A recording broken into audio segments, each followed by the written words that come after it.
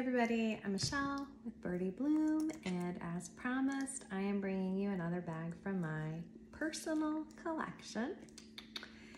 And what I have here is the number 4905 if you recall the bag that I showed this past Wednesday if you watched that video if you haven't go check it out.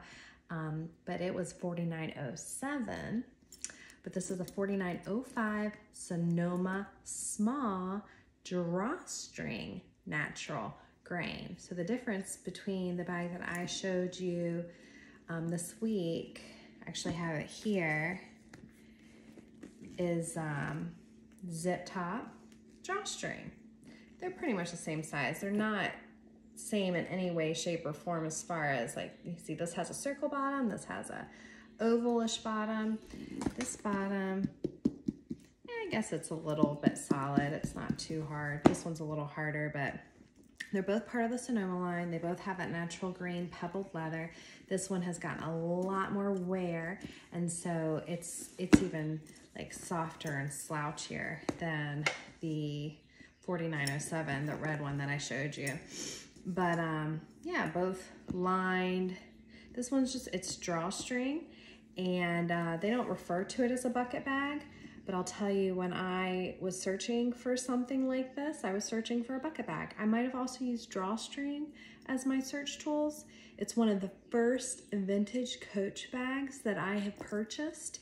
Um, and I used it and still do a lot. It's one of my favorites. Um, again, I love a bucket bag.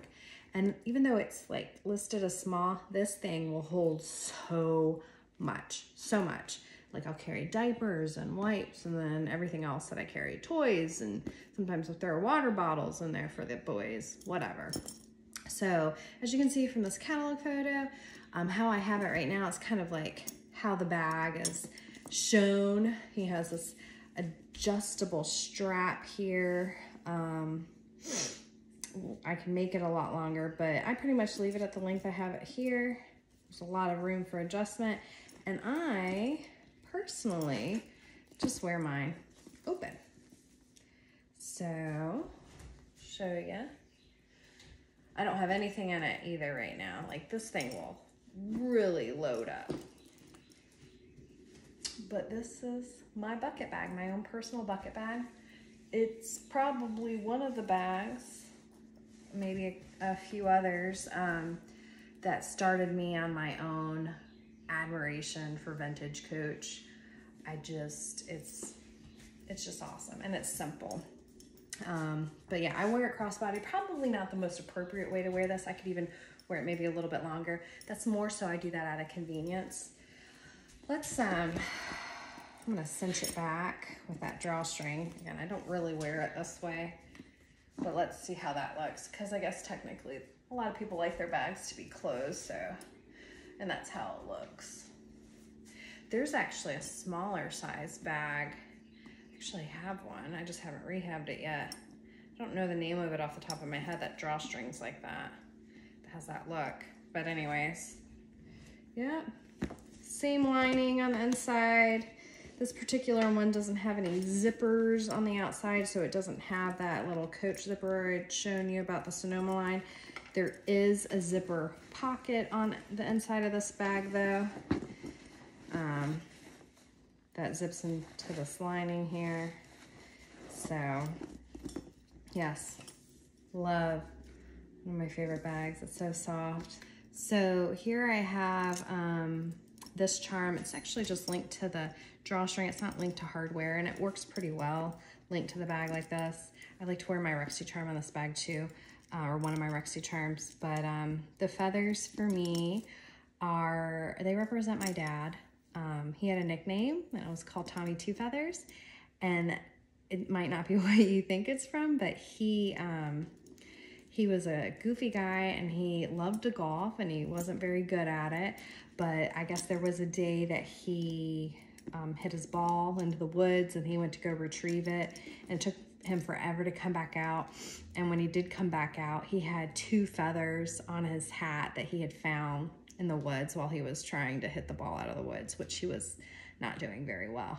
So um, just people thought it was funny. And um, from his friends, they nicknamed him Tommy Two Feathers. And I think about my dad when I look at feathers. So there's that. I don't know if you noticed, um, I've shared with you a couple, a few of the bags that I have in my own personal collection. So we have this bucket style bag, the Sonoma bucket bag. Um, I've shared with you one of my personal favorites, which is a waist pack. It's the double turn lock waist pack. That's not the name of it, but um, I have a video on it where I actually showcased a few different waist packs. So um, check that out if you haven't but the waist pack, any waist pack is my favorite. I like to wear them crossbody. It's a great hands-free bag, obsessed. Um, I've also shown you my side pack, which is the large side pack. That's not the technical name because there's a side pack and then there's a small side pack. But I have a side pack that is forest green, I believe, or no, I'm sorry, it's not forest green, it's bottle green. I have that in my collection and, um, and I've shown you that video as well. Uh, oh, and I also showed you my red camera zip.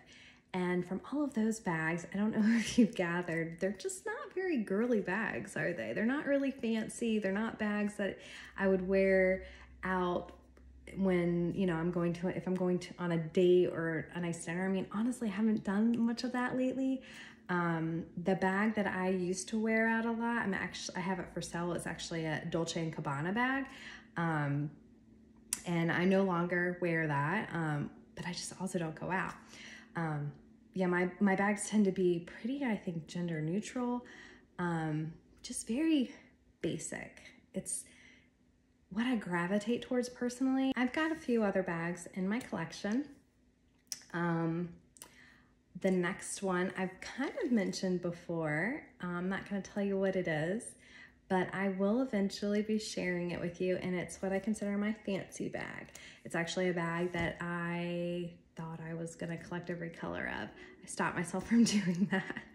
Um, but yeah, I, I'm pretty crazy about this bag. I think it, it just like incorporates all the things that I really love about all of these vintage coach items and um, yeah, it's one of my favorites. So if you wanna know what that bag is, subscribe to my channel so you don't miss that video when I put it out, okay? I appreciate you watching and uh, commenting and liking, so thanks. Bye-bye.